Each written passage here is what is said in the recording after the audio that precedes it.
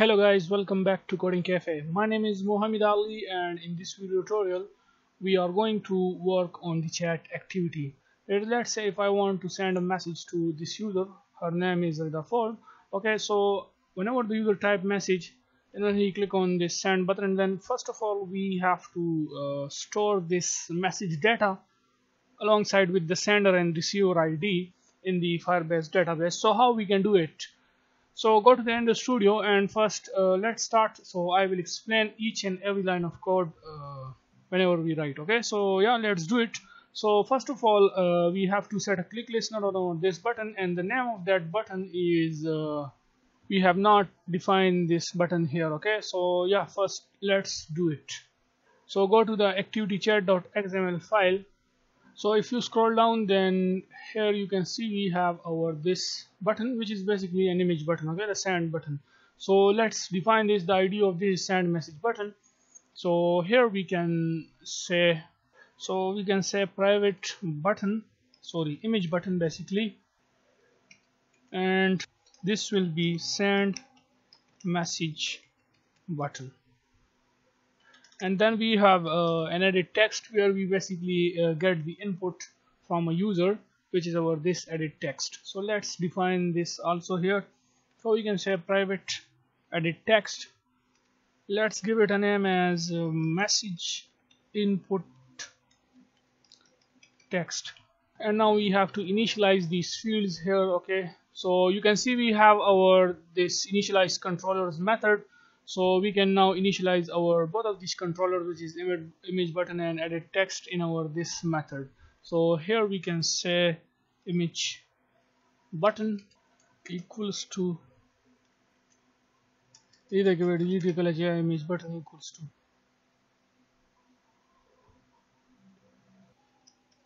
send message button equals to image button find view by id or dot id dot. And the id for this button is send message button.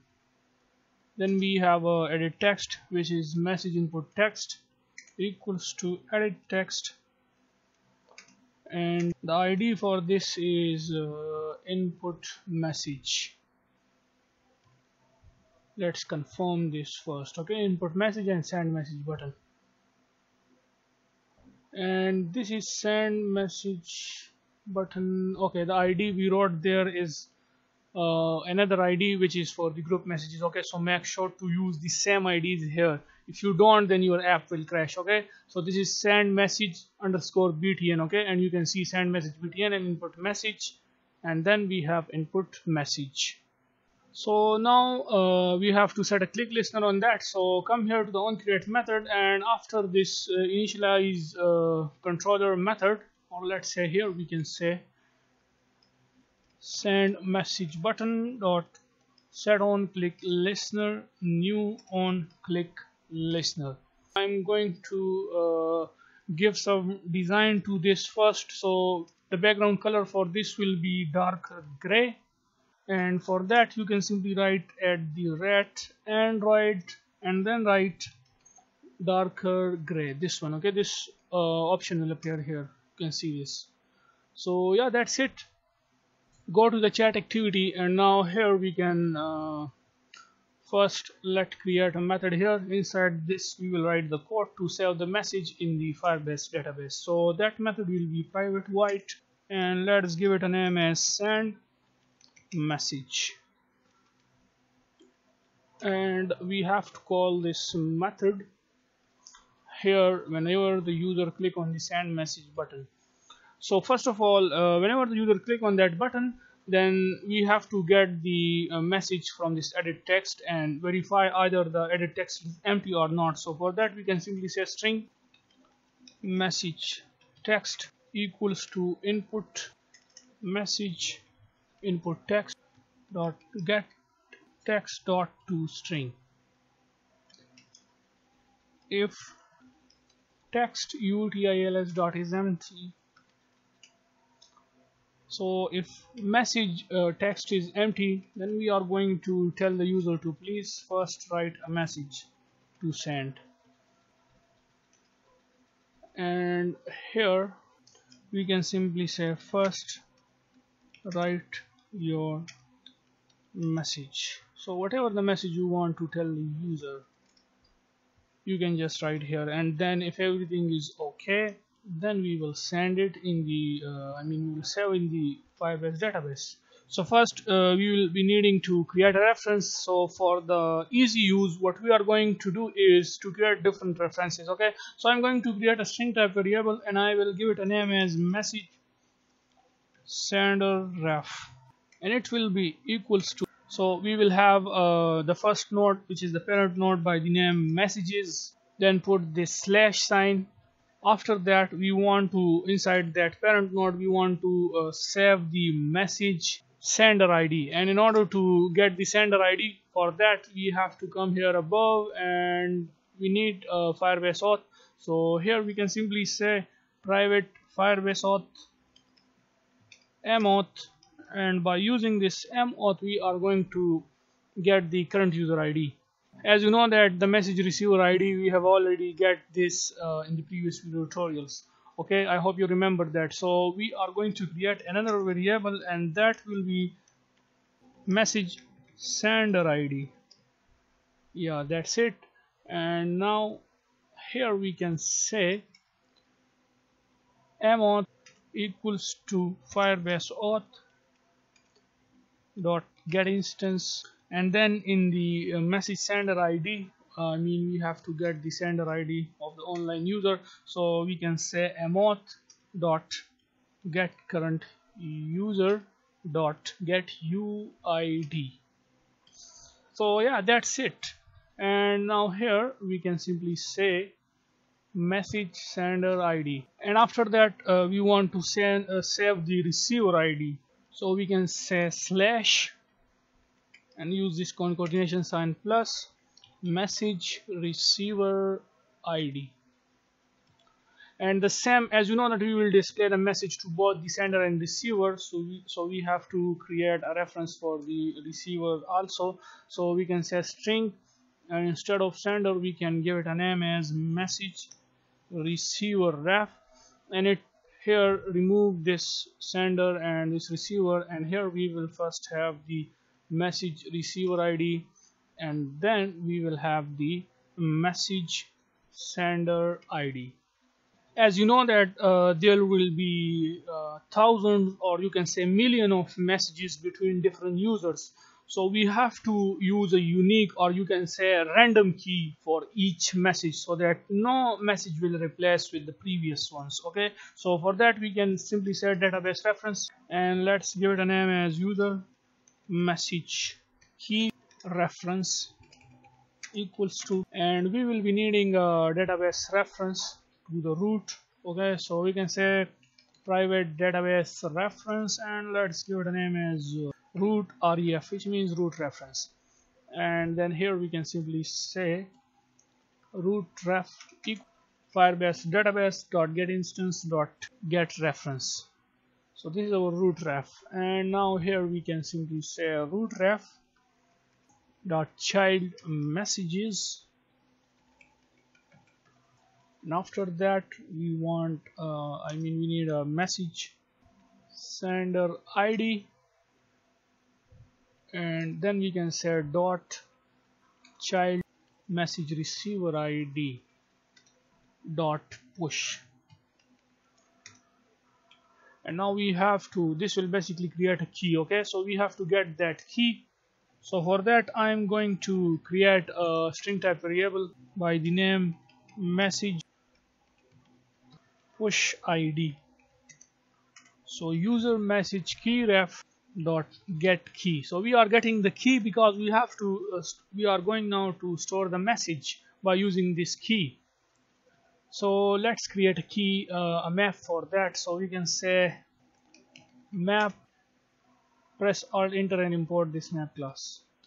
And let's give it a name as message text body equals to new hash map message text body dot push sorry dot put. And first it needs the object or you can say the key. So it will be message and the value of that will be the message text which we are uh, getting from the user and we are storing inside the variable message text. And let's copy paste this for the other data okay? So one two and three the second one will be type. That is the message type. Either it is a text message or the user is going to send some file to the other user. So for now we are just working on the text messages. So the type will be text.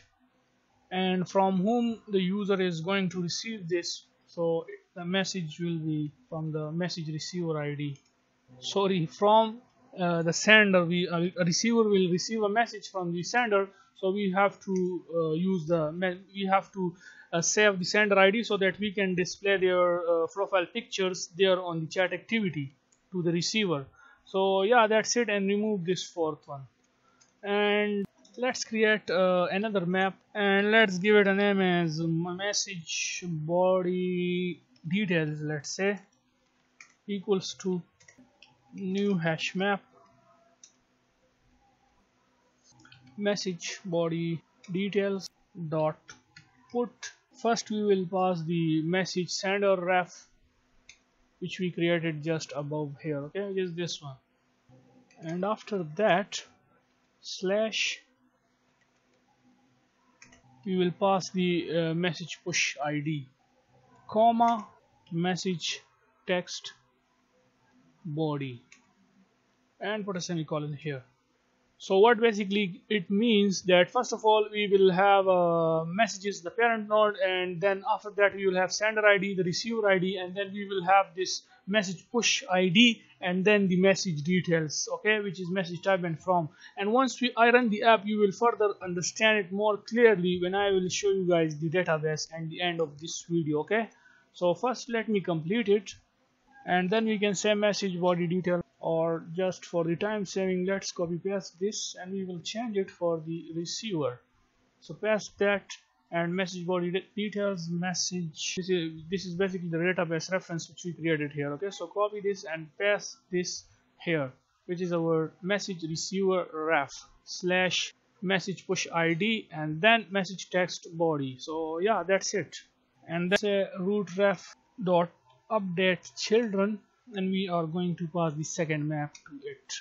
And uh, let's add a complete listener to it so that we can uh, display the error if any error occur in any case okay? So we can say on complete listener new on complete listener.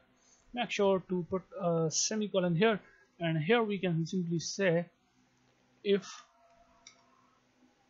task dot is successful then you can just uh, tell the user that his message sent.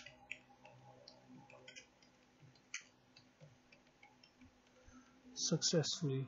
And if any error occur you can also tell the user that is the message is not uh, not sent or any message you want to display. I will simply write error.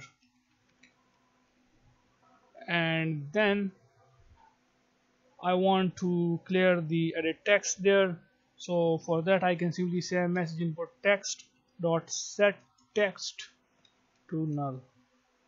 So yeah that's it. Now let's run the app to see if it is working or not. So our app is running now successfully and now let's uh, send a message to this user Mohammed Ali share okay so I go to the database also and let's test it from here so here I'm going to write the first message which is hello how are you? And let's click on send button. And here we go. Here you can see the message node. If I expand this then we have one for the sender one for the receiver. Okay and if this is sender then this is the receiver. And if I expand this one okay and this is the receiver this is the sender. As you know that we have to display the messages to both the user okay? So this is the logic which we are using okay? And then after both of these we have a unique random key for each message. Under that key we will have the message data or you can say the details that is from whom this message is receiving and uh, the message okay uh, and then the type which is text for now since we are allowing the user to only uh, send uh, text messages okay but later on we will uh, work on it further. I mean the files and the pictures etc okay to send to other person. So here you can see the same we will uh, uh, i mean to the sender and receiver we will display this message okay. So you can see it is working fine. Let's type another one. Let's say how is weather so here you can see that the message added for both the users. So in this video tutorial we have successfully uh, allowed the user to send message okay and we store it inside the firebase real-time database. Now in the next video tutorial what we will be doing is that first we will uh, create some beautiful layout just like you guys see in whatsapp okay and then we will display these messages here to the users so yeah that's it for this video. And if anyone is new to our channel then please subscribe our channel coding cafe. Thumbs up for this video and see you guys in the next video. Bye for now